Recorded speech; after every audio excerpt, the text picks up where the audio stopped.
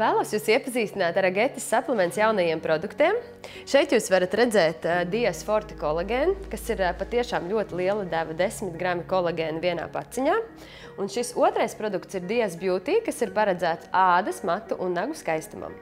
Kolagēns ir olbaltumviela, kas atrodas mūsu ķermenī dabiski, dermas slānī. Un tieši dermas slānis ir atbildīgs par to, kā mūsu āda izskatās no ārpuses. Dermas slānis kalpo kā barjera no ārējās vides kaitīgās ietekmes, tieši tāpēc mēs organismā iekšēji neuzņemam šīs kaitīgās vielas.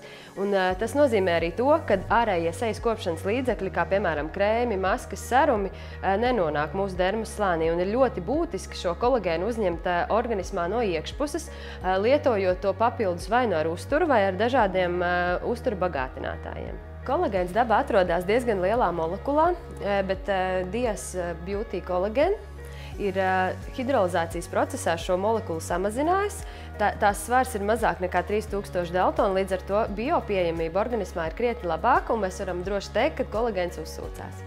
Dias Beauty sastāvā ir 1, 2, 3 tipa kolagēns vitamīns C, kas palīdz šim kolagēnam organismā uzsūkties, kā arī veicina imūnsistēmas darbību un veicina arī naturālā kolagēna veidošanos mūsu organismā.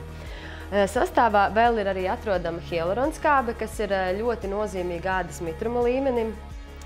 Vitamīns E, cinks, varš, folskāba, biotīns, selēns, kas ir ļoti nozīmīgs arī gan ādas, gan matu, gan nagu veselībai. Dias Beauty ir 60 tabletes, un ieteicamā dienas deva ir 1 līdz 2 tabletes dienā.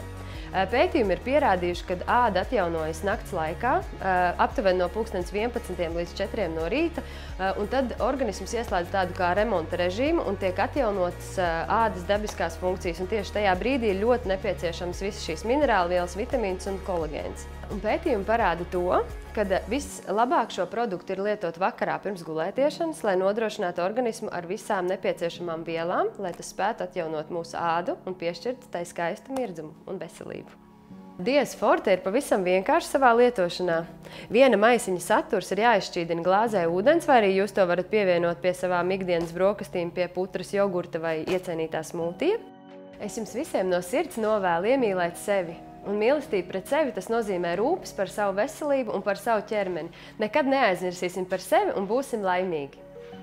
Cilvēka dzīvē ļoti liela loma ir kustībā.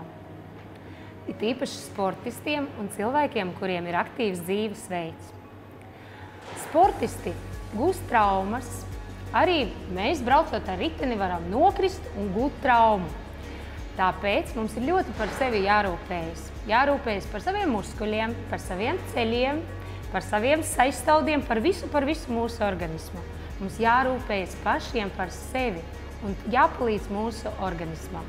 Kolagēns ir eh, dabīga olbaltumviela. Eh, katra cilvēka organisms izstrādā dabīgo kolagēnu. Pēc 25 gadiem kolagēna izstrāde samazinās. Un pēc 50 gadiem cilvēka organisms vispār neizstrādā kolagēnu. Kolagēns vajadzīgs mums saistāvdiem, skrimšļiem, kolagēns vajadzīgs muskuļiem, muskuļa atjaunošanās procesam. Bez kolagēna hm, dzīve nav iespējama. Kāpēc? Tāpēc, ka 33% cilvēka organisms sastāv no kolagēna. Kolagēns ir ļoti labs papildinājums sportiskajām aktivitātēm, aktīvajam dzīvesveidam. Diasforte ir jaunais produkts Latvijas tirgū. Diasforte satur 10 grami kolagēna, arī C vitamīnu. C vitamīns, kā mēs zinām, ko dara? Stiprina imunitāti. C vitamīns palīdz sintezēt kolagēnu organismā. Bromelaīns arī ir šajā produktā. Tas ir ferments, kurš palīdz pārstrādāt olbaltumvielas. Un tas ir iegūts no ananāsiem. Pirmām kārtām gribu, lai jūs būtu veseli, aktīvi, lai jums būtu daudz dzīves prieka un enerģijas, lai jums nekas nekad nesāpētu, lai jūs būtu super ilgdzīvotāji.